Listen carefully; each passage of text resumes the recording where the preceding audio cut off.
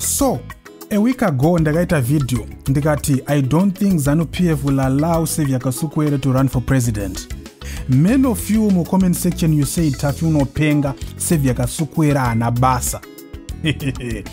Clearly you guys don't get it wo since i posted that video three things have happened.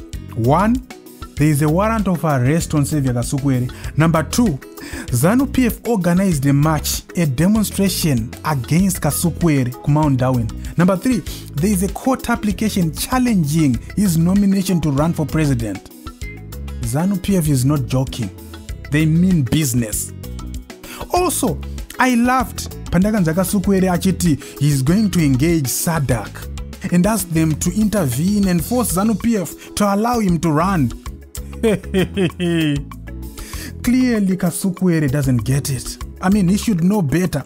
Sadak haipindire mumainternal affairs emamember states.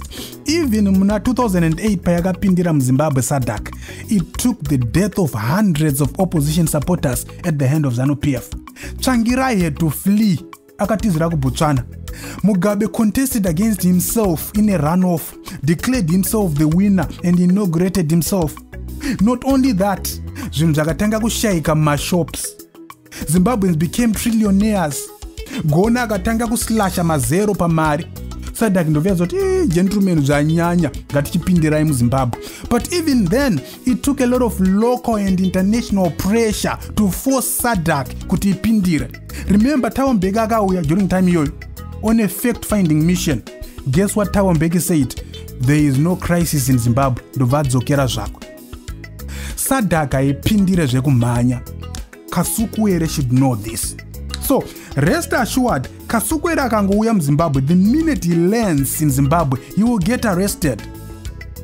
But kudos to him for creating an international profile for his candidature. The international community now knows kuti saviour kasukuere is running for president in zimbabwe. The intention is to make it difficult for emerson mnangagwa to arrest him But look, ZANU-PF doesn't care. I mean, they, they showed that on Job Scala. But also, they are pursuing the legal route. And as you know, Zimbabwe, the judiciary is captured. So the outcome of that court case is a foregone conclusion. We already know what's going to happen. Like I said, ZANU-PF is not joking. But the question is, ZANU-PF iri kukwata chii? Kana saviour kasukuere asina basa. Why are they so scared of saviour kasukuere i mean they allowed maimjuru to run in the last election. They also allowed simba makoni to run.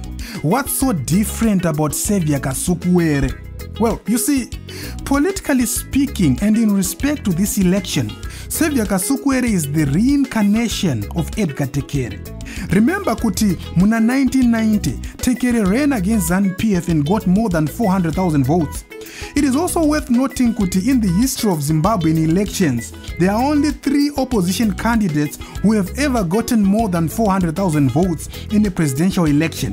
These are Tekere, Changirai and Chamisa. Edgar Tekere was a founding member of ZANU-PF. He was part of the leadership that created ZANU's military wing, ZANLA. So he understood how ZANU-PF functions not only from a political viewpoint but also from a military viewpoint. He knew ZANU-PF inside out, so it's not surprising that he got so many votes. Saviour Kasukuere was part of the country's security apparatus before joining politics. He knows how ZANU-PF functions not only from a political viewpoint but also from a national security standpoint. In fact, in an interview with the SABC, Kasukuere said, This time around, ZANU PF won't rig the election. That means kuti he knows the system, he understands the rigging system. ZANU PF knows kuti he knows. That's why they don't want him to run. Wangu, make no mistakes about it. If Saviour Kasukuere was nothing to ZANU PF, they wouldn't lose sleep over him. They didn't lose sleep over Simba Makoni. They didn't lose sleep over Joyce Mujuru. They allowed Joyce Mujuru to run. Why? Because they knew kuti she was not an internal threat to ZANU PF. Even Mai Mujuru vachiri muzanu yacho vasati vadzingwa. vakangoiswa pavp just because of gender equality otherwise in terms of making my decisions ane national security mukati she never did any of that never mai mujuru vaitoshamisika vakanzwa kuti ah zanu pf yauraya vanhu kwakati she also didn't know just like you and me mayamjuri is innocent war as for savior kasukuere he understands the system. He was part of the system. He was a zanu functionary even before joining politics kucio uku. That's what makes him dangerous he is a liability to zanu pf a loose end. He knows too much way way way way too much. That's why he can say kuti this time around they won't rig. Chii chinomupa simba rekutaura izvozvo? Again i repeat dai anga sina basa. Why go through all the trouble of kumupa warrant of arrest court application kuorganiza mayouth kuti amachire munhu asina basa charova seiko chando chetyson chapfekedza zanup f bach bach recourt application eh? bach rewarrant of arrest.